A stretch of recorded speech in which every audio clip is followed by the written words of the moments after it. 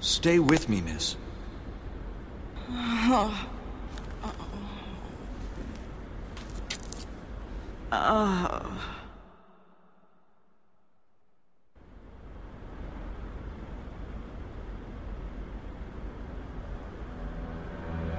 Thanks. I, I must have passed out or something. Wait, Carter. He, he didn't make it. My intuition was screaming at me to stop him from using that thing as some kind of a toy. Even the damn capsule got broken as well. I presume it served some bigger purpose. Umbrella has been spreading a virus throughout the city. That little capsule contained what could have been the only possible cure to the virus.